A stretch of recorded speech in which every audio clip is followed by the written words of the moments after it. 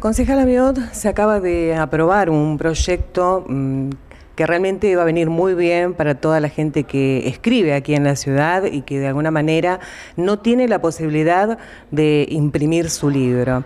Este proyecto que es el Fondo Editorial Municipal, ¿de qué trata, Alicia?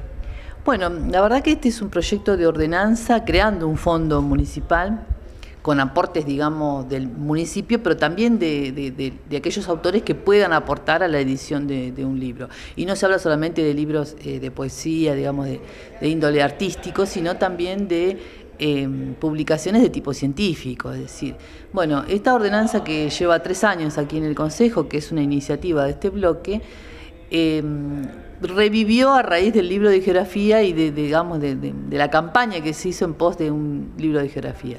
La verdad que el municipio debiera tener hace mucho tiempo, si bien, eh, digamos, en el ámbito municipal el archivo histórico hace sus propias, publicaciones, los hace con em, fondos de terceros, es decir, em, hay sponsors que auspician esto. Hay muchas veces que hay autores locales que financian sus propias ediciones y hay otros que realmente no pueden. Eh, la verdad que el municipio ha editado en los últimos años muy pocos libros. Eh, los últimos se hicieron durante el centenario de, Punta Alta, hace muchos años ya. Y, hay libros de carácter científico, de, mm, de, material, digamos, de consulta muy importante, como los libros de historia, los libros de geografía y demás, datos y estadísticas del municipio que serían buenos que tuvieran difusión.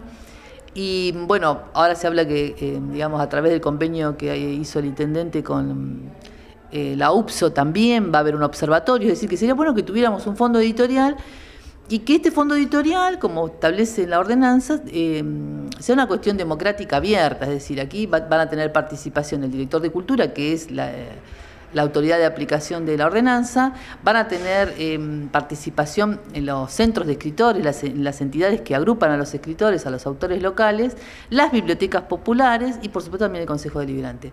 Esto, digamos, le da también, digamos, eh, hay una parte de esta ordenanza que por supuesto va a haber que reglamentarla, y, pero le da a la Dirección de Cultura las, facultades y la posibilidad de, mm, de, muchos tipos de trabajo, no solamente un libro de poesía o una novela, es decir, em, del hecho artístico en sí, sino también la divulgación de em, publicaciones de tipo científico.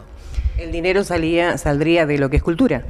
De cultura y de distintos aportes. Es decir, la ordenanza está abierta a, hacer un fondo, digamos, con aportes privados, con aportes de los mismos autores. Eh, así que, digamos, da, da muchas posibilidades. Y en el caso de que no se pudiera, la financiación total, eh, la financiación totalmente del municipio. A veces nosotros podemos lograr subsidios de, entidades provinciales, de legisladores y demás, así que este fondo está abierto a que se pueda enriquecer.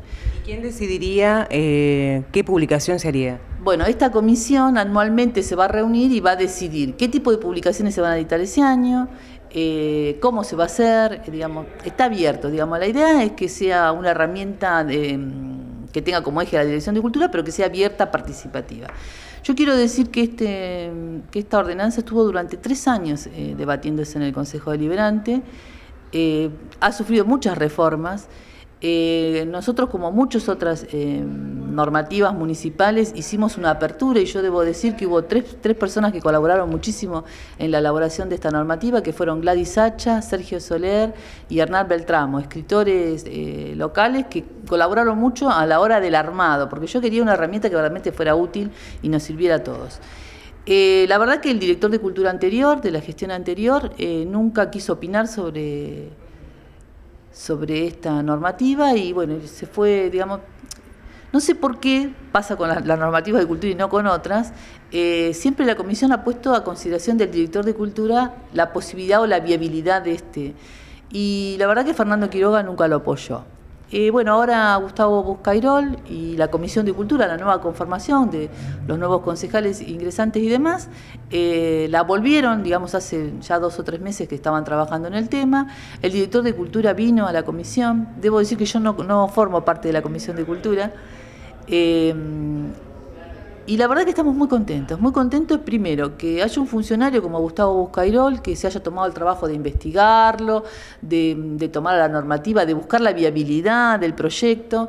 Y estamos todos muy contentos, muy contentos toda la comisión en este caso y nosotros, por supuesto, después de tanto tiempo, de tantas modificaciones, de tantas idas y vueltas, lograr una herramienta que sabemos que va a ser eh, muy importante para, para el municipio, en el sentido de que jerarquiza el área de cultura, y para todos los escritores que van a tener una herramienta real de, para poder eh, publicar sus obras.